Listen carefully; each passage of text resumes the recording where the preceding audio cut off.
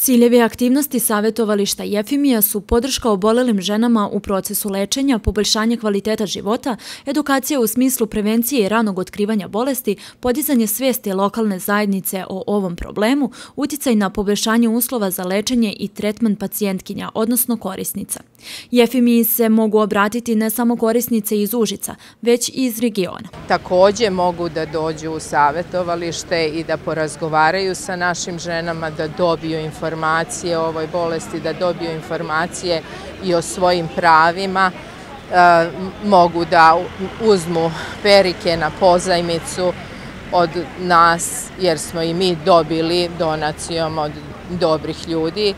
Tako da puno aktivnosti Jefimija ima i raznim načinima se finansiramo, pa jedan od načina je i ovaj simboličan, ali značajan.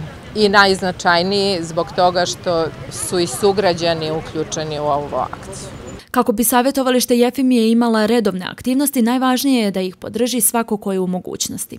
Nadam se da će sugrađanke i sugrađanke sugrađani ovaj, doprineti kupovinom cveća da imamo redovne aktivnosti Jefimije. Ovo savjetovalište jako je značajno za grad Užice i svojim radom i angažovanjem uspeli su da smanje broj smrtnih slučajeva. Istakao je Slobodan Grbić, član gradskog veća zadužen za socijalnu politiku. Sve ove žene mnogo rade na prevenciji.